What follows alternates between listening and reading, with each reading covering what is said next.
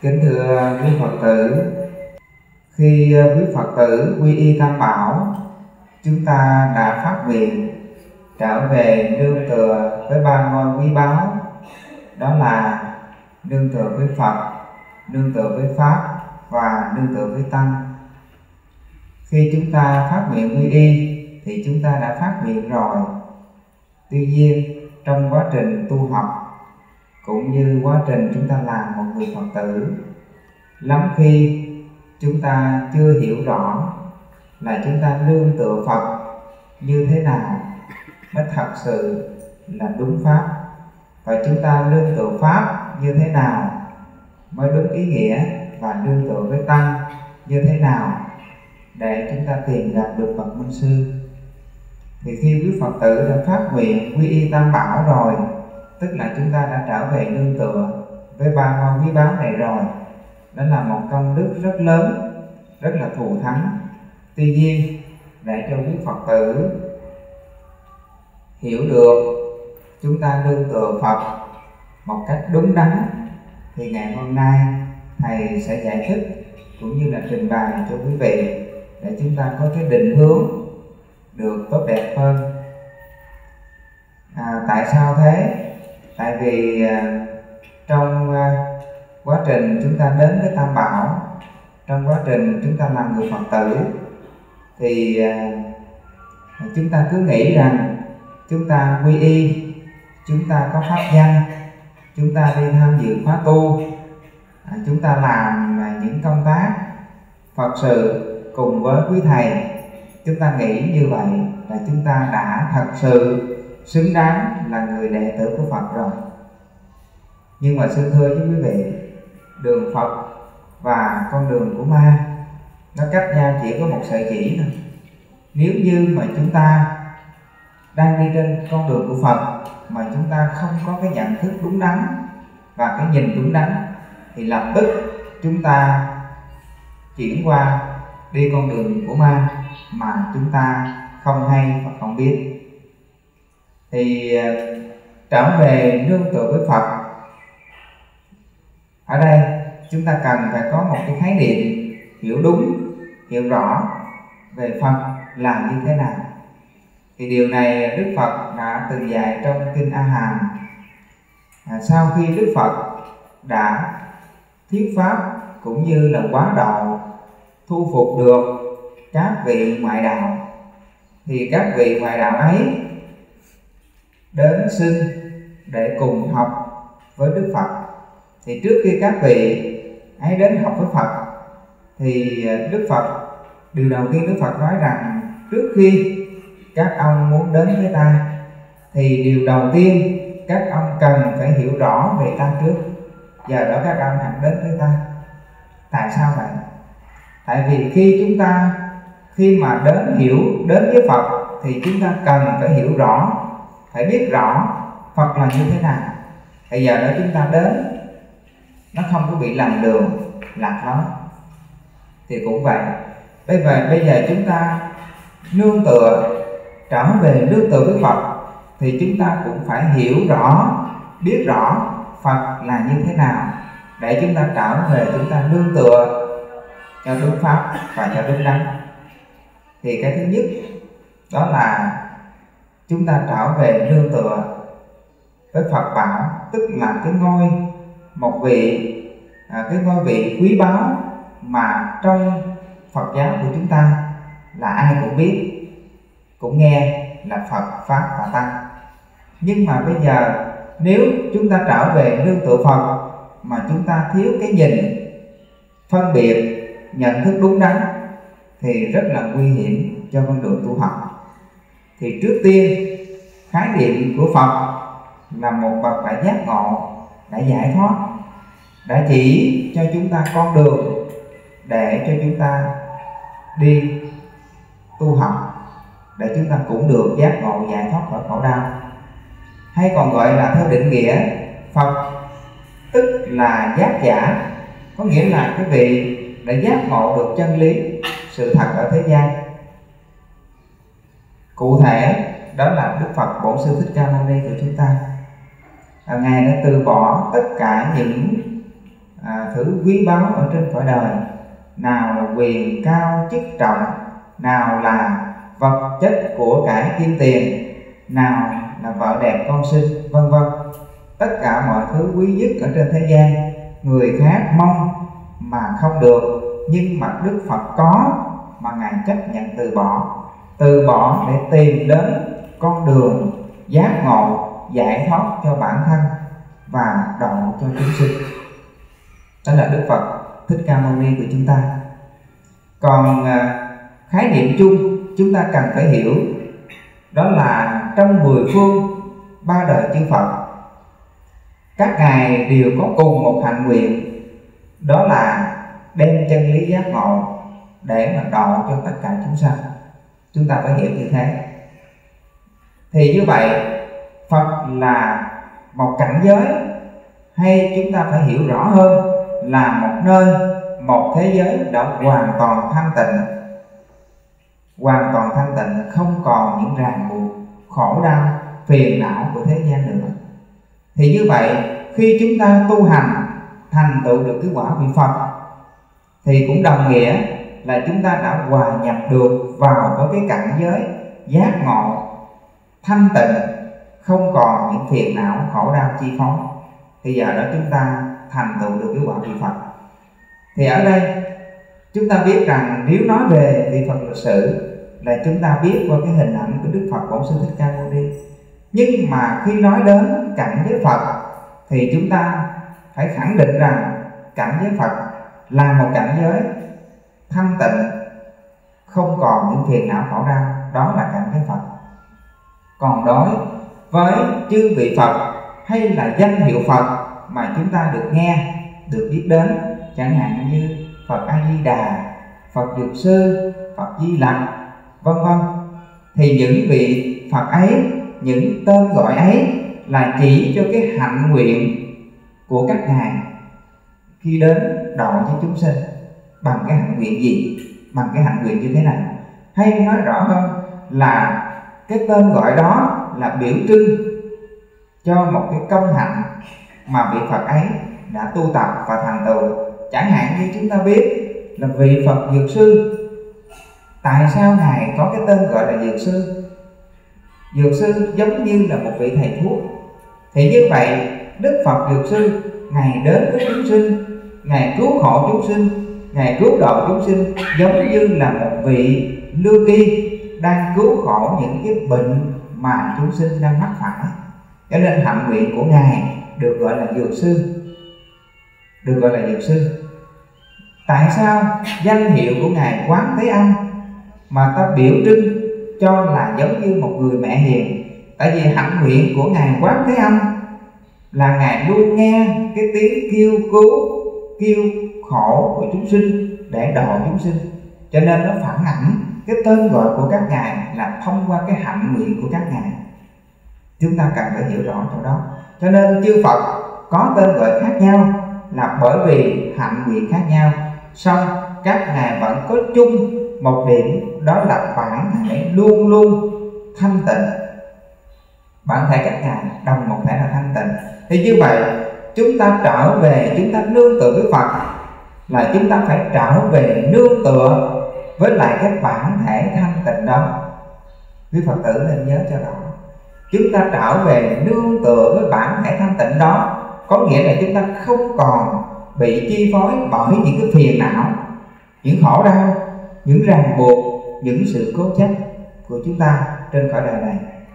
Hình ảnh đức thế tôn mới vừa đản sinh tay chỉ lên trời tay chỉ xuống đất. Tuyên bố rằng thiên thượng, thiên hạ, duy ngã độc tôn. Nếu chúng ta không hiểu, chúng ta dịch là khi đức phật mới đản sinh tay chỉ lên trời tay chỉ xuống đất. Tuyên bố rằng thiên thượng, thiên hạ, duy ngã độc tôn, tức là trên trời dưới đất, chỉ có một mình ta là hơn hết, là cao quý hơn hết, là cao cả hơn hết nếu chúng ta hiểu như vậy thì xin thưa với quý vị chúng ta đã nói oan cho phật. Chúng ta đã phạm tội rất lớn với với phật. Ta mà đức thế tôn tuyên bố ngã mà đức thế tôn tuyên bố không phải là cái ngã cá thể của đức thế tôn mà là cái bản ngã của chúng sinh tức là đức phật ra đời. Đó, khi ngài ra đời ngài đã thấy được chúng ta có mặt trên cõi đời này, mỗi người thì cái bản ngã là cao nhất. Bản ngã đó là gì? Là cái sự cố chấp của ta. Cái nhà này của tôi, cái thân này của tôi, chồng tôi, vợ tôi, con tôi, tiền của của tôi, vân vân, mọi thứ đều của tôi. Nhưng một khi đã nhắm mắt xuôi tay rồi, thì sao quý vị? Tất cả đều buông hết, tất cả đều bỏ hết mà không còn cái gì cả. Thấy không? Không còn lại giữ được cái gì, kể cả cái thân này cũng không giữ được. Nhưng mà chúng ta cứ bị cái chủ nghĩa bản ngã, cái chủ nghĩa tôi đó, nó làm cho chúng ta bị mê muội, dẫn dắt chúng ta đi vào con đường lạc lối trầm luân mà chúng ta không hay, không biết và không ý thức được thì chúng ta trở về nương tựa với Phật.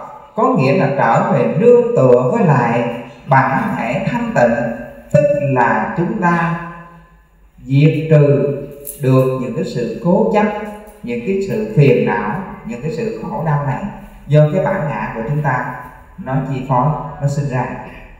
Bởi vì như hồi nãy thầy đã nói với quý vị là khi tu tập đạt được một cảnh giới, một trạng thái Phật quả hay là trạng thái thanh tịnh, thì khi chúng ta có được tâm thanh tịnh, thì tất cả những sự cố chấp ấy của chúng ta nó không còn.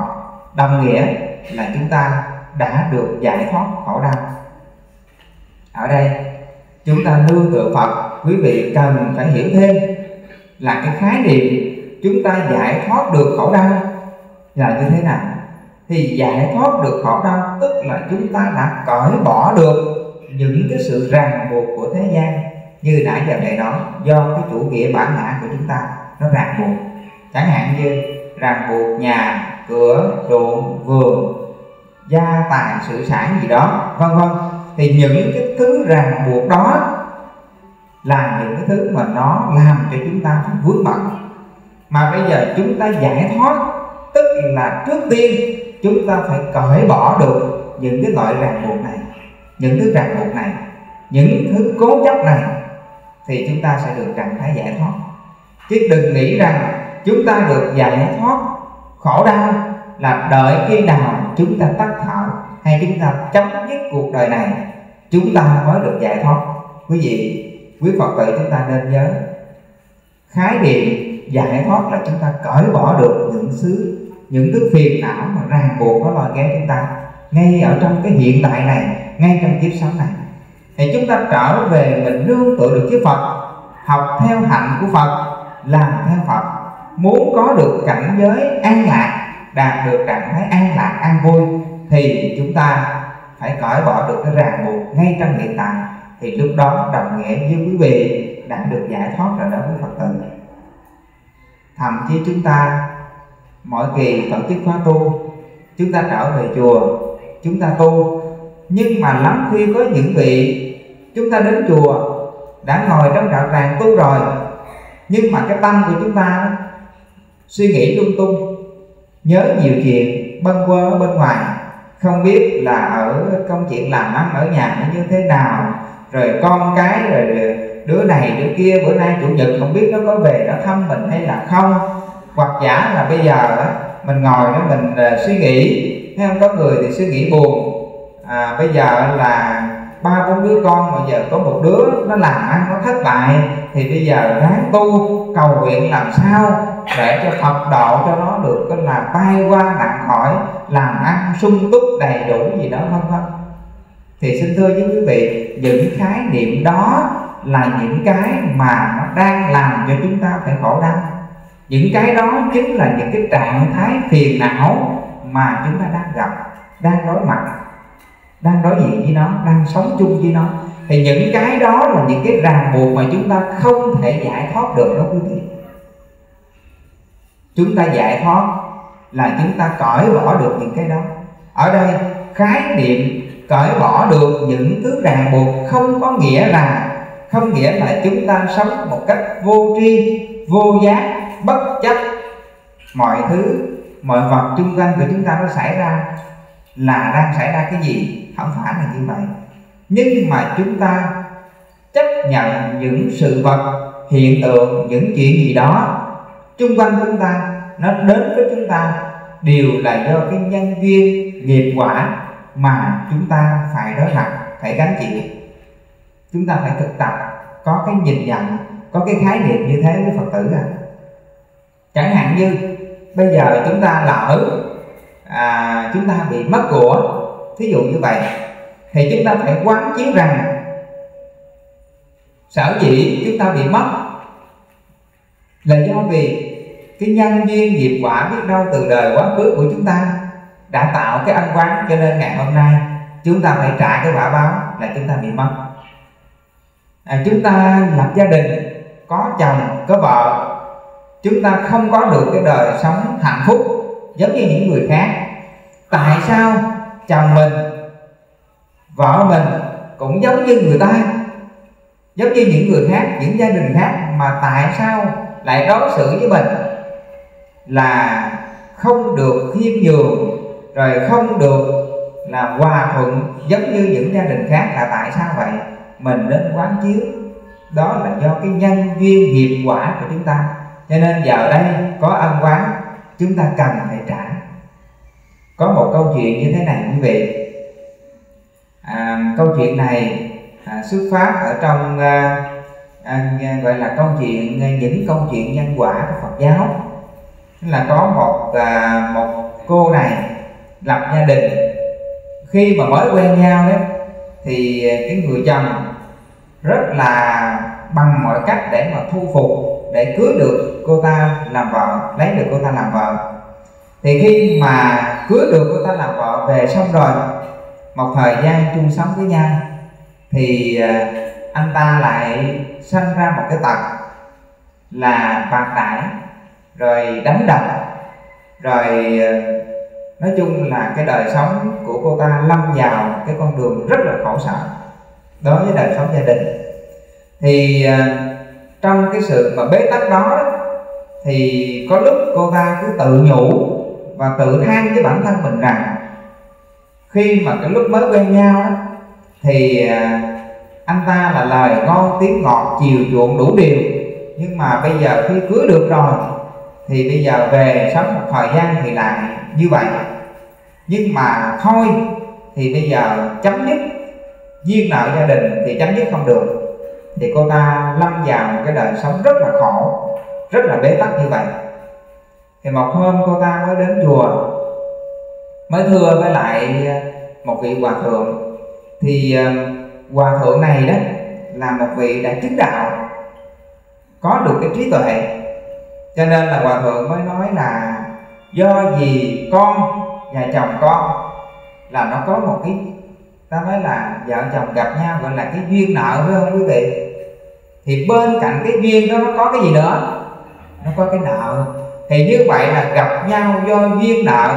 Duyên gặp nhau thì có nợ thì phải làm sao? Thì phải trả nợ là cái chuyện đó bình thường. Đúng không? Thì khi mà hòa thượng mới nói rằng tụi con gặp nhau là có duyên mà cũng có nợ, cho nên bây giờ con phải về chấp nhận, phải trả cái nợ đó thì mới hết được. Thì giờ đó hòa thượng mới dạy rằng à, rồi cô ta mới nói rằng à, bây giờ không biết tại sao mà cứ hả đi làm về năm bữa ba bữa là gây động rồi anh đánh đập. Chịu không nổi mà chấm dứt thì vẫn chấm dứt không được. Vì thương con rồi à, cái chuyện mà gia đình danh giá vân vân đủ thứ việc. Thì giờ đó hòa thượng mới dạy một cách để trả nợ. Là cái thứ nhất là bây giờ con về chẳng hạn như là chồng con nó chửi đấy nó la đấy nó đánh đấy. Thì giờ con cứ cười con không có nói lại gì hết. Con cứ im lặng. Tức là nó la, nó chửi, rồi nó nói gì đó nói. Con cứ im lặng đi. Chấp nhận. Thì giờ đó là con sẽ trả được một phần. Còn cái thứ hai nữa, nó hay đánh con như vậy, phải không? Thì bây giờ con về. Đó. Con chuốt vào cái cây chổi. Thì trong cây chổi đó nó có nhiều nhiều cọng chổi nó kết lại. Thì nó đã hàng hàng trăm hàng ngàn rồi thì khi mà nó tức mà nó cầm cây chổi đó, nó đánh con, thì nó đánh một cái là giống như là hàng trăm, hàng ngàn roi như vậy. Thì như vậy là cái nợ của con sẽ trả hết. Con vui vẻ, yên lặng để tìm cách để trả nợ cho người khác. Đó là cái cách thiết thực và gần gũi nhất, dễ nhất mà con nên làm.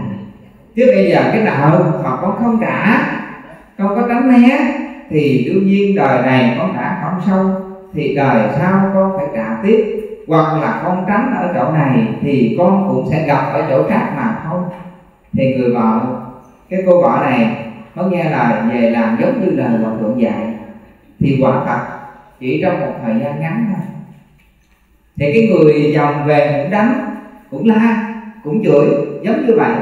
Một thời gian rồi, coi như là bằng cái củ giỏi đó, thì anh ta quên đánh riết, rồi coi như là cái nào cũng hết. Thì bỗng dưng đó, khi la thì vợ không trả lời. Khi đánh thì vợ không kháng cự. Thì một thời gian ngắn thì người chồng tự nhiên, cái nợ nó hết. Rồi người chồng tự nhiên tỉnh ngộ lại. Mới cảm thấy rằng thương người vợ nhiều hơn nữa. Thì người chồng mới nói rằng là anh đối xử với em đến mức độ như vậy. Nhưng mà em không buồn, không giận, không hờn, không kháng cự. Thì tự nhiên là bây giờ anh cảm thấy anh xấu hổ, anh có lỗi với em, thì thôi bây giờ này, cho anh được bồi đắp. Cho nên là từ đó trở về sau, coi như là anh chồng chí tú làm ăn, thương yêu vợ, đi làm lo về, không lo la cà. Này, chăm sóc đời sống gia đình, lại được có cái trở lại, có cái được đời sống hạnh phúc, rất là sung túc. Thì cô ta rất là quan hệ rồi trở lên, thưa lại với hòa thượng. Thì hòa thượng có nói rằng, như vậy là con đã trả xong được cái đạo rồi đó thì quý vị thấy ở trong cuộc sống của chúng ta, trong cuộc đời này của chúng ta, khi gặp nhau là nó đều có cái duyên và cái nợ hết. Mặc dù chúng ta gặp nhau trong một thoáng một chốc, mà được gặp là chúng ta đã có duyên mà có nợ mà nếu chúng ta không khéo và không có cái nhìn nhận sớm, thì chúng ta bị cái duyên và cái sợi dây duyên nợ này nó cọt chúng ta nó ràng chúng ta. Để tiếp tục chúng ta sẽ tạo nghiệp nữa. Mà chúng ta cũng hay đó quý vị. Chẳng hạn như bây giờ này, ở đây, ông bà mình có câu nói như thế nào? Nếu nhịn thì như thế nào quý vị? Nhịn thì phải nhục phải không nào nhưng mà ghép lại chung cái từ gọi là nhịn nhục. Nhưng mà thật sự trước mắt là rõ ràng nhiều khi chúng ta nhịn, chúng ta chịu thiệt. Thì đúng rõ ràng nhiều khi chúng ta cũng có có phần bị nhục đấy nhưng mà cái nhục đó là chúng ta có phải là lâm vào cái cặp gọi là nhục nhã cùng cực không quý vị? Không có. Mà là nếu chúng ta thật sự nhịn, thì trước hoặc là sau gì đó, chúng ta cũng sẽ được minh quang và người khác sẽ thương yêu quý trọng chúng ta nhiều hơn nữa. Mà cái trường hợp gọi là nhịn nhục đó là với điều kiện là chúng ta không có sai chúng ta bị hàm quan mới gọi là nhẫn nhục cho quý vị. Còn nhiều khi là chúng ta có, thấy không? Chúng ta có, chúng ta sai. Rồi giờ đó chúng ta bị phát giác, rồi chúng ta bị cái hậu quả, thì cái đó chúng ta không phải là nhịn nhục, mà chúng ta là trả quả. Trả quả nó khác cái nhịn nhục.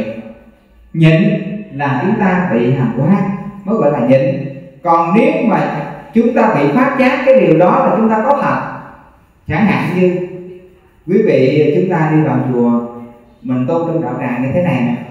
Huynh đệ bạn bè phật tử thấy không? Gặp nhau rồi à, giống như rồi cái từ như thế nào? Bà tám đó, nói chuyện với người khác thấy không? Bàn chuyện với người khác nói xấu người ta. Rồi một khi mà người ta phát hiện được người ta chửi mình đó tại sao nói chuyện xấu của tôi người ta chửi mình? Bây giờ nói mình nam mô như là phật. Thôi, tu hành này. Giờ nhịn nhục, ai muốn nói gì nói.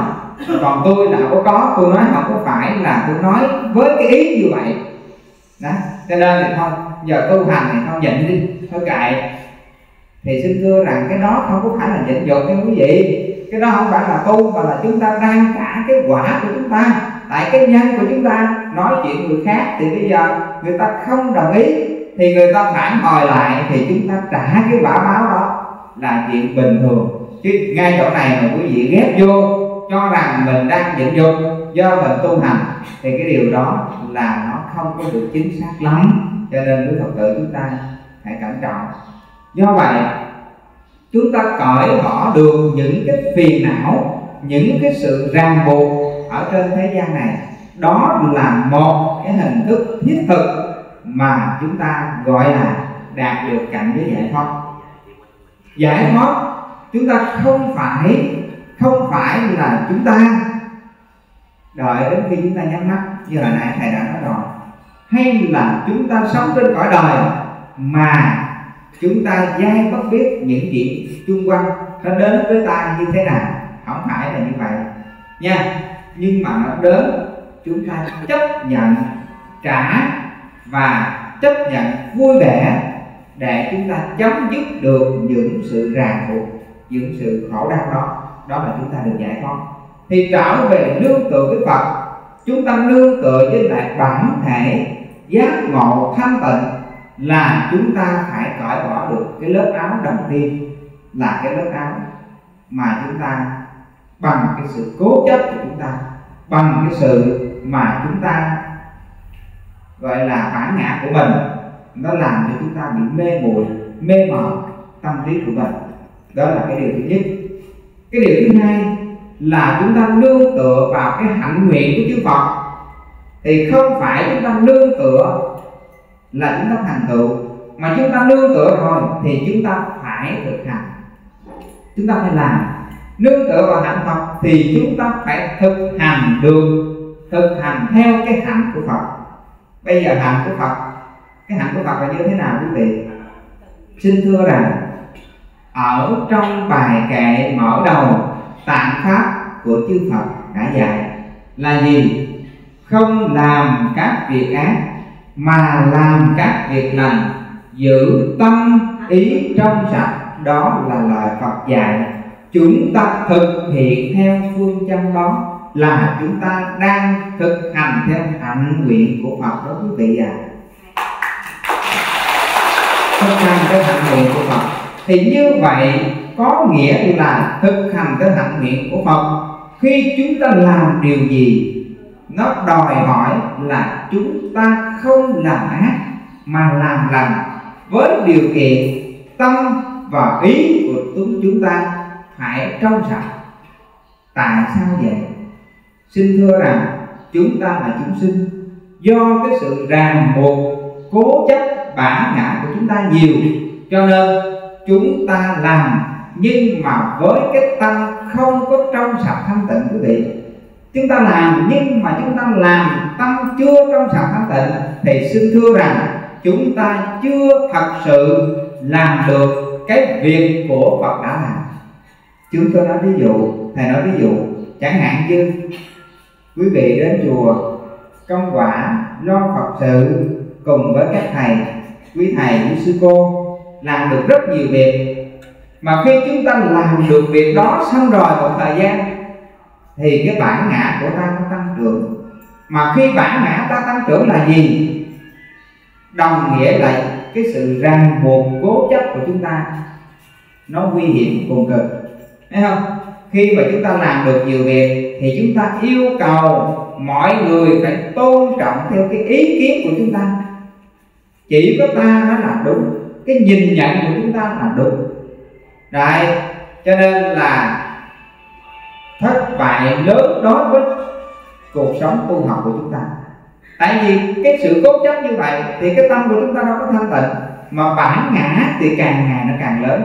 Thậm chí có những trường hợp là không những yêu cầu mọi người trong đạo tràng hay là trong phật tử phải tôn trọng ý kiến của mình, mà kể cả yêu cầu bắt buộc quý thầy phải tôn trọng ý kiến của mình luôn, phải làm theo mình luôn. Còn nếu không làm theo thì sao?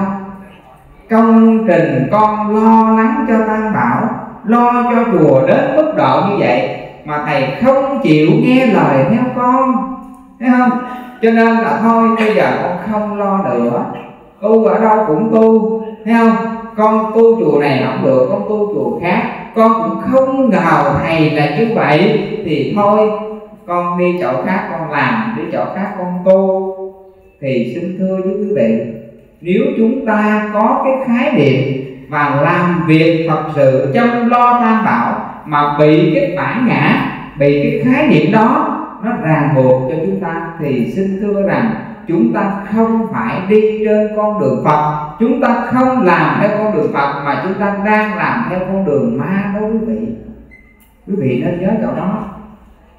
Ở đây, đối với thầy, xin thưa rằng thầy đến bất cứ nơi nào hay là thuyết giảng ở bất cứ đạo tràng nào, cái điều mà thầy hy vọng nhiều nhất, mong mỏi nhiều nhất đó là quý phật tử chúng ta làm sao phải hạn chế, phải khắc phục được những cái sự cố chấp và cái bản ngã sâu sắc của mình. Để chúng ta đi theo con đường của Phật, nó mới dễ dàng được quý vị ạ. À. đó, thì như thầy mới vừa nói với quý vị, chúng ta làm theo con đường Phật. Đó, là chúng ta làm việc gì phải giữ được tâm và ý của mình, phải trong sạch thanh tịnh không làm ác, mà phải làm lành, mà tâm và ý của mình nó phải thanh tịnh mới được. Thì bây giờ chúng ta phải phân biệt được cái việc nào là cái việc ác, mà cái việc nào là cái việc lành. Phải phân biệt được. Bây giờ cái việc ác là việc như thế nào, quý vị? Giết người, cướp của, gian dối.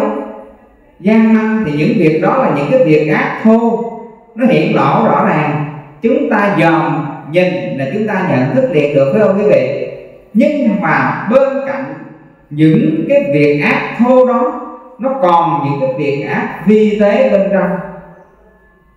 Tiềm ẩn với chúng ta mà chúng ta không biết nguy hiểm vô cùng. Quý vị biết rằng cái việc ác mà nó vi tế nó tiềm ẩn bên trong đó, mà có thể nói rằng cực ác đó là quý vị biết gì gì không? Đó là đoạn mất tâm bồ đề của người khác. Đó là một việc trọng ác. Mà đoạn mất tâm bồ đề của người khác là gì? Có nghĩa rằng người ta đang phát tâm tu học, nhưng mà vì mình, lý do vì mình dẫn dắt cho người ta đi vào con đường sai. Đi vào con đường lầm. Thì cái đó là cái chúng ta đang bị rơi vào con đường cực ác thầy nói, ví dụ, chẳng hạn như là trong thời đại thông tin đại chúng của chúng ta ngày hôm nay, nó nhiều việc lắm quý vị. Có những chuyện, thậm chí họ dựng chuyện, họ bịa đặt, họ đưa lên mạng là quý thầy, quý sư cô phạm giới, phạm tội, rồi nói xấu như thế này, thế khác rất là nhiều.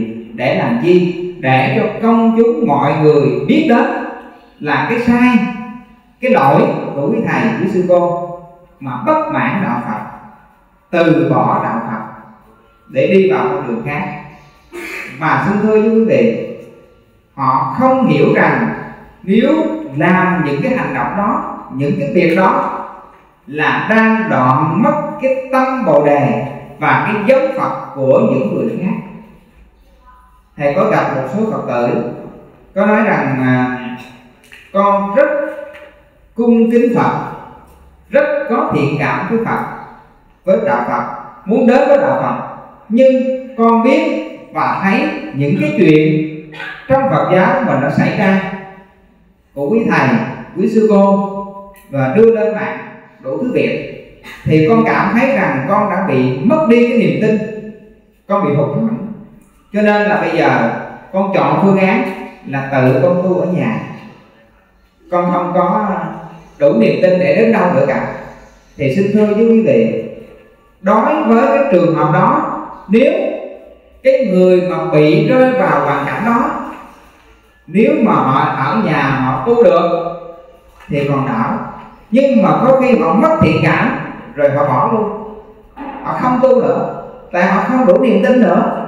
Thì xin thưa rằng những người mà đưa những cái chuyện mà xấu sai không đúng có thật hay là du khống gì đó lên, mà làm đoạn dấu Phật của người khác như vậy thì đó là cái tội cực ác quý vị mà chúng ta nên nhớ rằng lời Phật dạy không sai.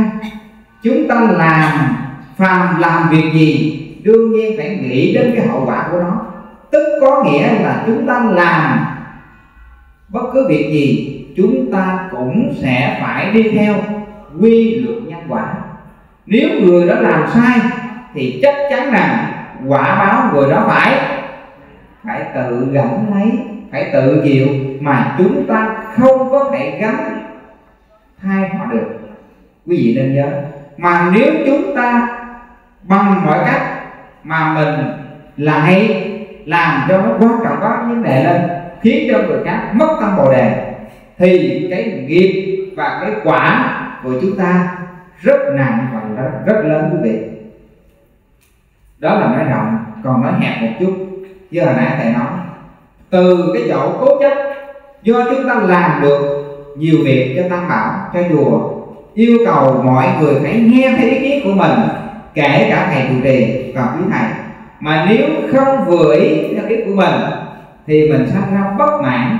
Mà bất mãn rồi, mình đi nơi khác, thậm chí chẳng những đi nơi khác mà còn sắp động nữa quý vị.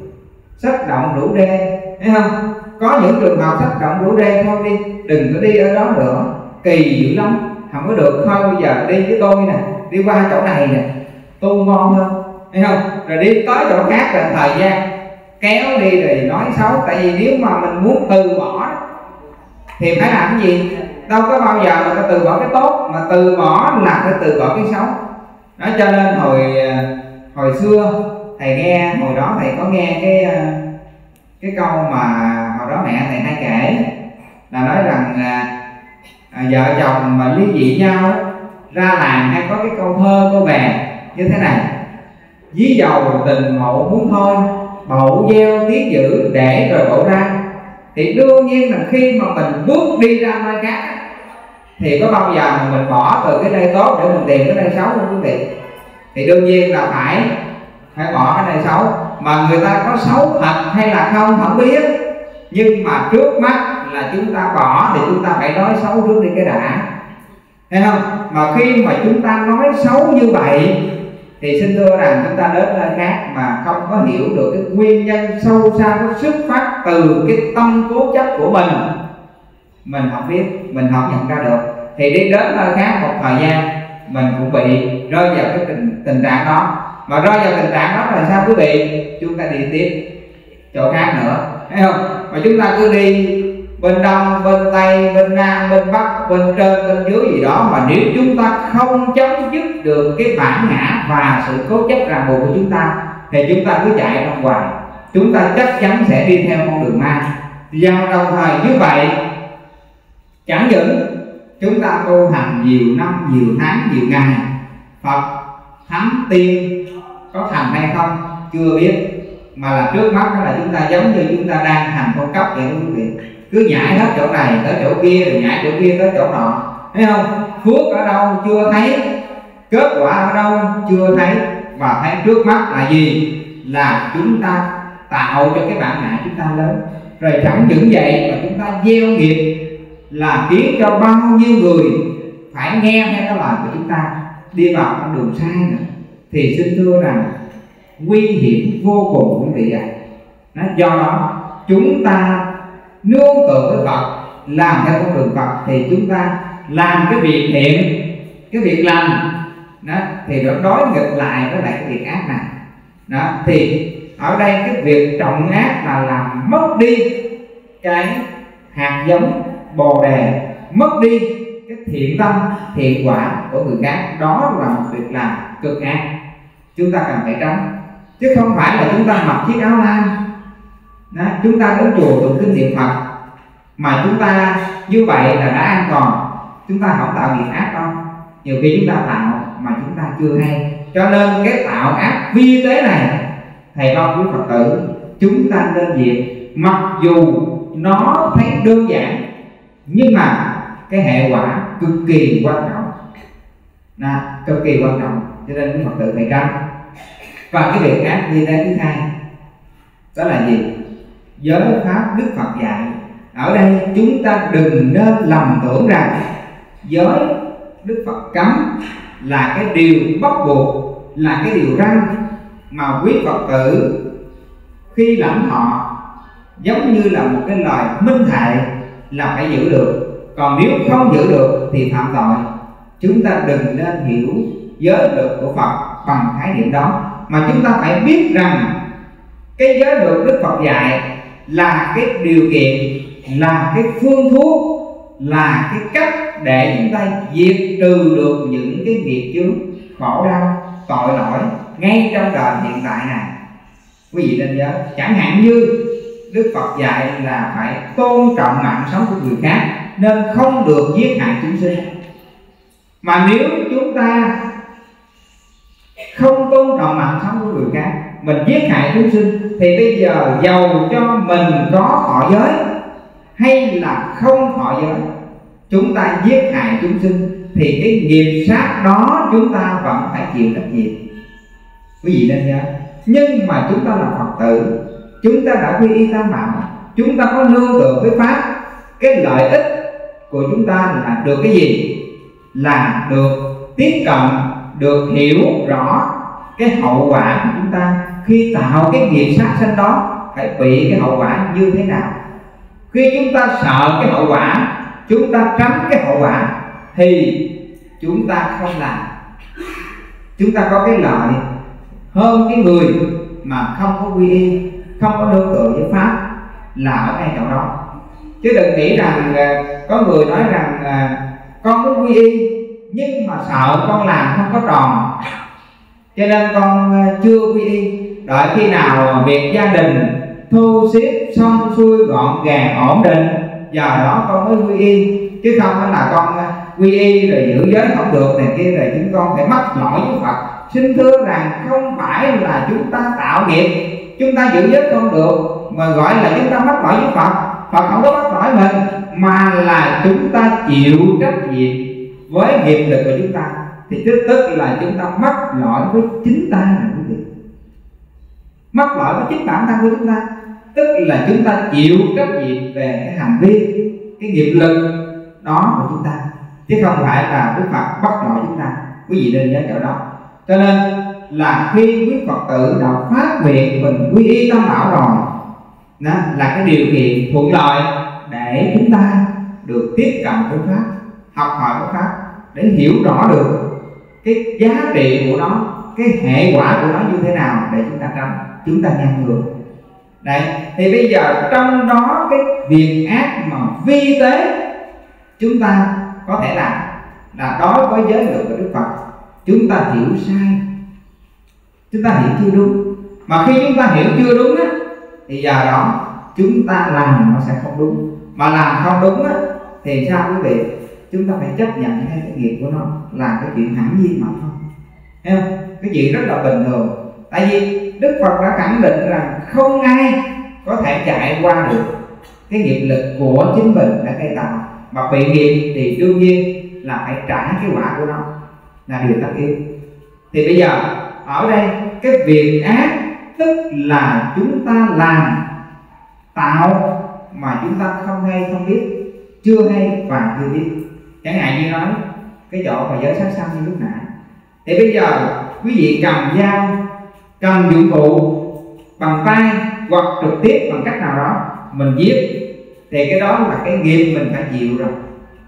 Nhưng mà nó có những cái mà chúng ta giết một cách vi tế hơn mà chúng ta không biết. Đó chẳng hạn như là bây giờ à, hồi trước á, là khi mà thầy bổn sư của thầy còn à, còn à, còn sống á, thì à, hòa thượng lúc đó là không bao giờ cho phật tử cho mấy cô mà đem cái chậu nước sôi mà đổ trong cái lỗ cống hoặc là đổ trên cái chậu rửa. Lúc đầu thì thầy không biết lý do tại sao nhưng mà cái lúc sau đấy thì sau khi tìm hiểu đó mình mới biết là sở dĩ sư phụ dạy như vậy là bởi vì ở ngay cái lỗ cống đó thì lúc nào nó cũng có rất nhiều các loại côn trùng ẩm thấp. Nó sống ở đó, nó ăn đồ thừa vân vân. Mà nếu mà đổ nước sôi như vậy, thì chúng ta lại gián tiếp, chúng ta giết rồi nó chết. Thì giờ đó cái nghiệp lực giàu lực ít, giàu nhiều, giàu nặng, giàu nhẹ, nhưng mà ít nhiều chúng ta cũng bị nghiệp dướng vào cái nghiệp sát sanh mà mặc dù chúng ta không cố ý, thì lúc đó thầy mới biết được là cái lý do như vậy cho nên thầy bổn sư thầy là không có cho mọi người làm cái việc đó. Rồi còn ngay cái chỗ mà nó vi tế hơn nữa là gì? Là chẳng hạn như có người nói rằng phạm tội cực trọng là giết cha, giết mẹ, giết a la hán làm thân phật bị thương chảy máu. Một trong năm cái tội của nghịch đó là có cái tội giết cha, giết mẹ. Mà giết cha, giết mẹ thì những cái người con, những đứa con này không phải là nó cầm dao, cầm búa, cầm rửa mà nó đánh nó học nó giết cha, giết mẹ nó. Mới hình thành cái tội, mà là có những đứa con nó giết cha, giết mẹ bằng cách là cho chết lành, chết mòn quý vị. Giết lành, giết mòn. Làm cho cha, mẹ phải buồn, phải đau, phải khổ. Mặc dù nó không trực tiếp cầm dao, cầm rửa gì giết hết, mà là nó chửi nè, nó bắn nè, nó hành hạ nè đủ thứ cách hết, thì cái người con đó, cái hành động đó, cái việc làm đó phạm với cái tội cực ác, ngang với cái tội sát sanh, giết cha, giết mẹ cho quý vị. Đó là cái việc ác. Còn về cái việc thiện, cái việc làm là cái việc như thế nào? Cái việc làm chúng ta xây chùa, tạo tượng, đúc chuông chẳng bằng bố thí, giúp đỡ người nghèo, vân vân tất cả những cái việc đó là cái việc làm thì xin thưa rằng nó, chúng ta thấy về cái hiện tượng thì đó nó không có sai quý vị. Nó không có sai là đúng. Nhưng mà nó có những cái việc mà chúng ta làm nó rất là âm thầm. Nhưng mà biết đâu cái việc làm đó là cái việc làm mang lại cái lợi ích phước đức rất lớn. Trong kinh diệu pháp liên hoa có một cái đoạn nói rằng à, cái người mà đến nghe kinh diệu pháp liên quan chúng ta chỉ cần dừng cái chỗ ngồi thôi thì công đức đã vô lượng vô biên rồi quý vị nhường cái chỗ cho người ta ngồi để được nghe kinh diệu pháp liên quan thì công đức vô lượng vô biên. Hoặc giả là chúng ta nghe hiểu được kinh diệu pháp liên quan, chúng ta đem cái nghe. Cái hiểu đó để hướng dẫn cho người khác truyền cho người khác thậm chí từ người thứ nhất cho đến người thứ 50 được nghe thì cái công đức cũng được vô lượng vô biên. Xin thưa rằng quý vị biết rằng sở dĩ trong kinh diệu pháp liên quan nói như vậy tức là chỉ cho chúng ta biết được trong các cái việc làm thì cái việc làm vĩ đại quan trọng chúng ta có thể làm được, đó là chúng ta đem cái tâm bồ đề, đem cái hạt giống bồ đề để chúng ta cấy ghép, gieo trồng cho người khác phát khỏi, cho người khác phát khỏi. Đó là một công đức vô lượng vô biên. Tôi nói à, tôi có nghe, thầy có nghe ở một cái địa phương là nói rằng tổ chức một cái à, buổi khuyến khích gọi là quy y tam bảo. Quý thầy chọn cái phương pháp bằng cách nếu người phật tử nào giới thiệu được hướng dẫn được gọi là năm vị quy y tức là mình đó, hướng dẫn làm sao mà được năm người cùng với mình đến để tham dự cái lễ quy y đó để trở về quy y trong cái buổi lễ đó thì cái vị phật tử đó được tặng cho một cái giá đi hành hương Thấy không? tức là cái ngày đó tổ chức là cái hội quy y lớn mà thông báo rộng rãi à bây giờ con dẫn được năm người đến để quy y thì thầy ở đó là sẽ cho cái vị phật tử này nè một cái vé đi hành hương thì à, nghe qua thì chúng ta thấy rằng à, có lẽ là vị này ờ, giống như dùng cái cách gọi là chiêu dụ phải không ạ? Chiêu dụ để được phật tử ờ, đến chùa quy y đông. À, nhưng mà xin thưa với quý vị đó là một cách để thầy ấy giúp đỡ cho quý phật tử thực tập được cái hạnh nguyện đó là chúng ta gieo tạo cho người khác có đầy đủ cái tương đương đầy đủ cái điều kiện để được đến với tam bảo. Tạo vị đấy. Chứ không phải rằng thầy ấy làm như vậy là để tạo cái điều kiện cho thầy ấy được đông phật tử, được nhiều phật tử. Cho nên đó là một việc làm cá nhân thầy cảm thấy rất đúng đắn và rất đáng nghe rất đáng nghe đó. Chúng ta hướng dẫn được một người tu là công đức của chúng ta vô lượng. Quý vị nên nhớ chỗ đó. À, nên nhớ chỗ đó. Khi mình hướng dẫn được một người mà đến với tam bảo là chúng ta trở thành một người sứ mệnh của một người hoàng pháp một người đệ tử phật đang đi trên con đường của phật. Mà nếu chúng ta cấy ghép vào cho người khác những cái hạt giống không tốt thì đương nhiên là chúng ta phải chịu cái tội ác mà cấy ghép cho họ được đến với cái việc lành thì chúng ta đã gieo tạo được cái hạt giống lành. Quý phật tử thành nhớ thì bây giờ như vậy, bây giờ không làm việc ác, mà làm việc lành, tức là đó cái việc ác ta tránh mà việc làm chúng ta làm. Nhưng mà làm với tư cách, với cái tâm là gì? Là phải trong sạch thanh tịnh, không còn sự cố chấp thì đó là Phật dạy là chúng ta đang đi theo con đường của Phật, đang làm theo con đường của Phật à thì quý vị nên nhớ, trở về nương tựa Phật là chúng ta phải nương tựa với cái con đường trang nghiêm và thanh tịnh như thế. Chứ không phải là chúng ta trở về nương tựa với Phật, là chúng ta đến chùa mặc áo lam, ai nói một tiếng thì mình trả lời lại ba tiếng. Ai làm mình không vừa lòng thì mình bỏ mình đi ra, mình bán riêu, bán rau, nói xấu, nói thêm, nói bớt thấy không? Nói đủ thứ chuyện đó, rồi thậm chí á, là có những trường hợp như thế này đến là quý vị.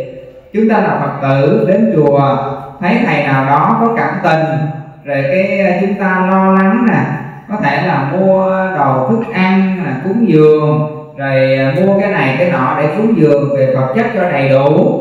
Rồi ờ, thậm chí á, có khi á, là mua ví dụ đi à, sáng hẹn sáng trưa. Nếu thầy chưa thì thôi để con à, nấu cho thầy một tô hủ tiếu bưng lên cho thầy dùng. Thì giờ đó rồi cái à, bữa nào mà thầy dùng rồi đấy thì thầy bảo rằng à, con ơi thầy dùng rồi. Thôi thầy dùng rồi thôi con đem dưới dùng đi.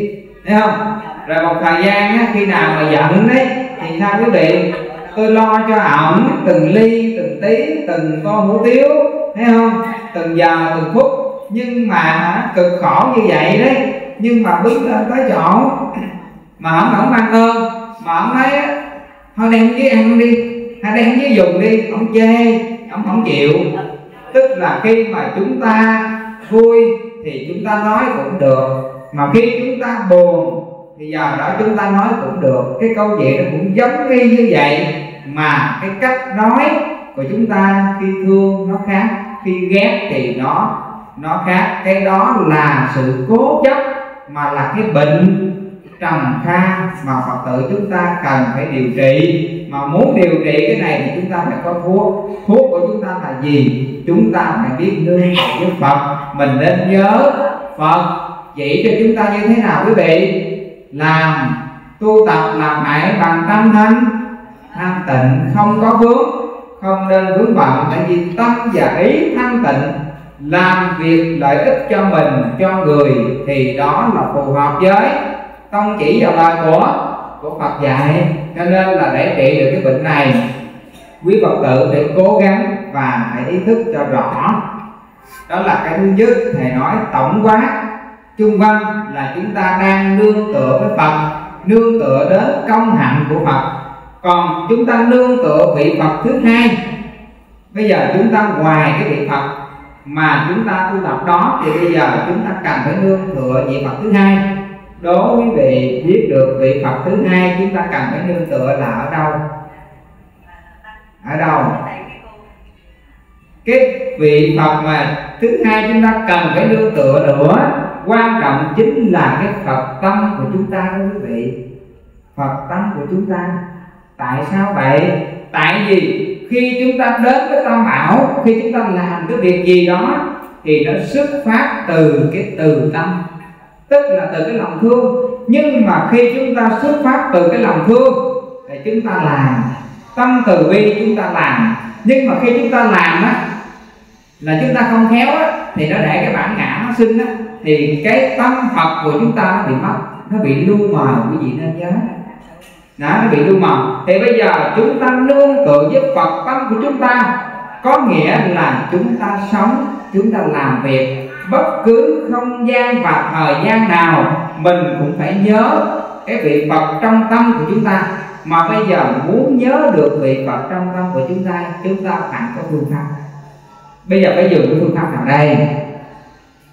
Muốn nhớ được vị Phật trong tâm của chúng ta, thì chúng ta phải có phương pháp là phải thực tập làm sao ngày cũng như đêm phải có cái sự tỉnh giác và chánh niệm. Tỉnh giác và chánh niệm không phải đợi chúng ta ngồi thiền, liêm diêm đôi mắt mới có, mà chúng ta ngồi thiền liêm diêm đôi mắt. Đôi đôi khi chúng ta chưa tìm được chánh niệm mà chúng ta tìm được ngũ gục thấy không? Chưa tìm được chánh niệm mà chúng ta tìm được ngũ bộ trước rồi. Cho nên, nhưng mà cái chánh niệm tỉnh giác này chúng ta phải ý thức ngày cũng như đêm. Ý thức điều gì? Ý thức được rằng ta là người phật tử. Ta là con của phật. Ta phải đặt cái niềm tin tu tập vào đức phật là chính. Và ta đang đi trên con đường của phật là chính. Chúng ta phải có cái sự tỉnh giác. Điều này trong dân gian của ta có câu nói hay lắm quý vị. Hay vô cùng hay. Này là có cái câu là nó trong dân gian mình có cái câu hay như thế này nè quý vị. À, tức là giận lẫy thì xảy cùi thấy không? Còn ở thụt lui á thì lọt giếng. Thấy không? Tại vì thụt lui mình đâu có thấy được thì mình lọt hầm lọt hố lọt chiến là bình thường. Thấy không? Còn mình giận nảy á, thì cái gì mình cũng bỏ, cái gì mình cũng buông. Rồi mình quên mình quên. Thì cái đó là cái nguy hiểm. Sở dĩ như vậy là bởi vì chúng ta thiếu đi cái tỉnh giác, thiếu đi cái chánh niệm. Như vậy, chúng ta có ý thức được, có chánh niệm và tỉnh giác. Có được cái chánh niệm và tỉnh giác, thì khi chúng ta làm việc gì đó là chúng ta có cái sự suy nghĩ. Mình phân định nó, suy xét nó, cái nào nên, cái nào không nên, cái nào cần, cái nào không cần. Nó rõ ràng. Mà khi chúng ta luôn nhớ nghĩ được như vậy, thì xin thưa rằng cái quyết định của chúng ta, nó khó mà sai lạc được lắm quý vị.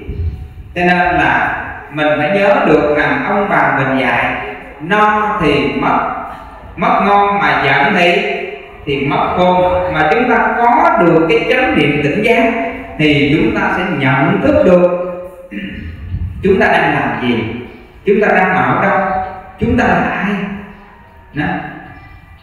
là chúng ta sẽ tránh được những cái nghiệp lực, những cái việc làm mà chúng ta có thể vướng phải vào nó thì, ở đây, thầy nói rằng quý vị cần phải gìn giữ nương tựa có cái vị phật tâm của mình, tức là chúng ta phải nhớ được cái mục đích, cái mục tiêu của chúng ta khi đến với tam bảo là gì. Khi chúng ta làm các việc lành, làm những việc công đức làm gì?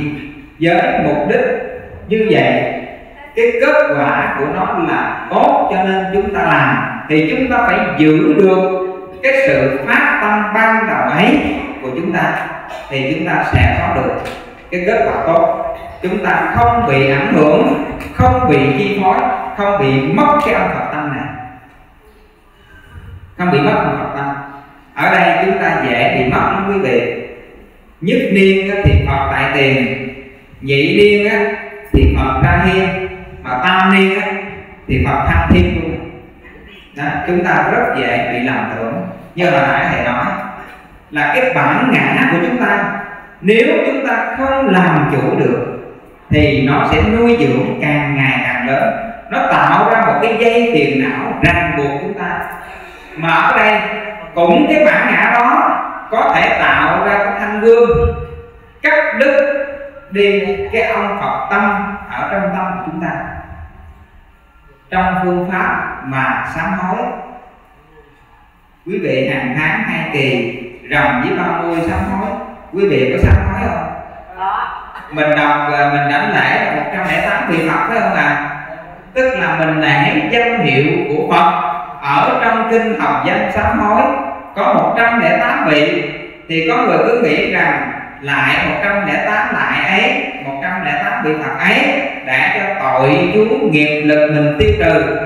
Đúng không ạ? À?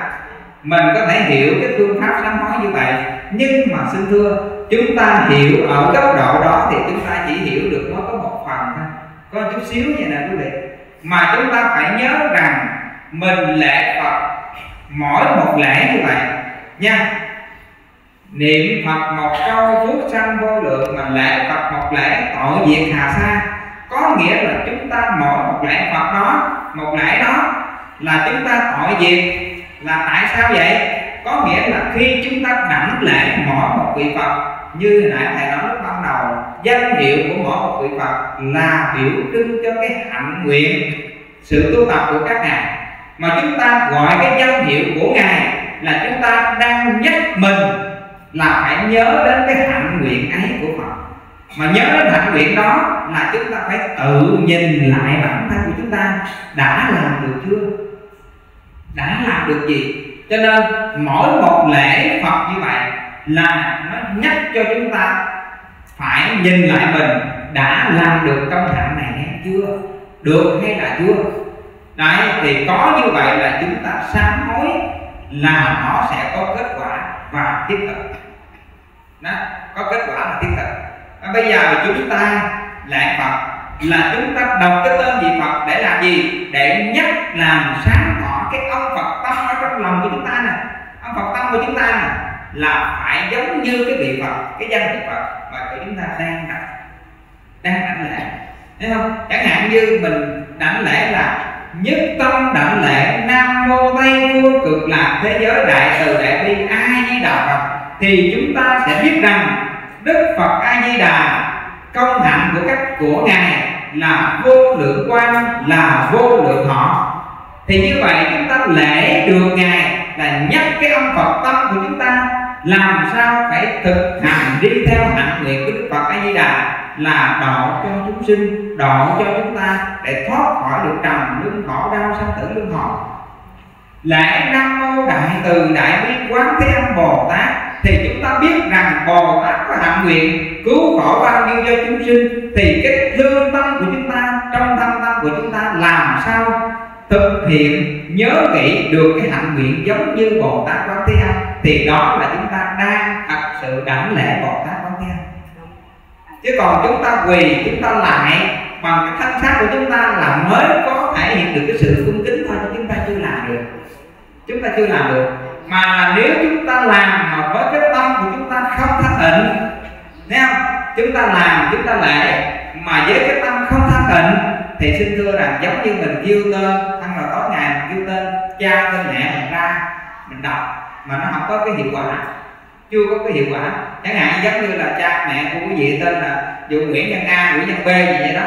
Tối ngày mình nhớ cha mẹ quá, cứ nói, cha ơi cha ơi nguyễn nhân b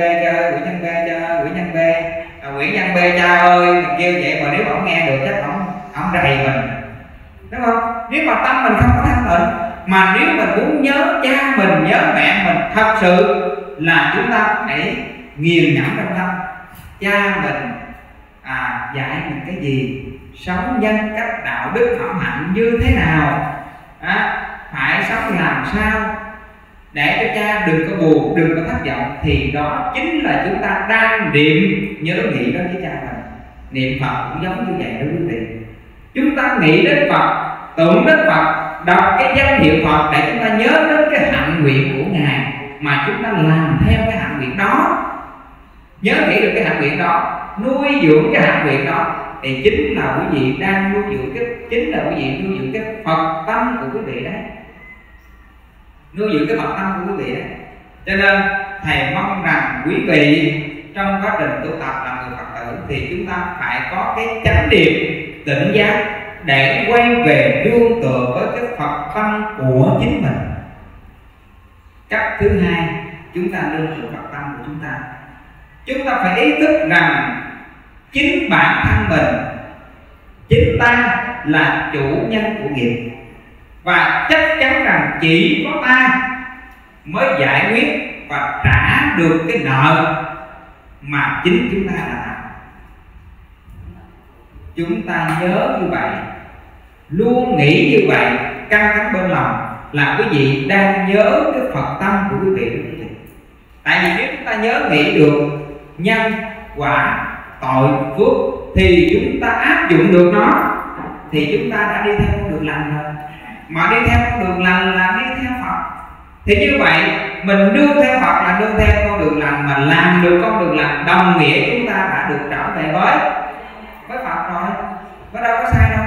Thì như vậy, trở về với phật không có nghĩa là chúng ta trở về núi, về non, về chùa, về những cái nơi nào đó mới có phật. Thậm chí qua ấn độ, nó hoặc là qua cái xứ nào đó để tìm phật chúng ta tìm như vậy là chỉ nương được cái vị phật ở bên ngoài thôi, cái vị phật hình tướng thôi, mà là chúng ta trở về nương tựa với phật một cách sâu sắc là chúng ta nương tựa vào cái hạnh nguyện của phật.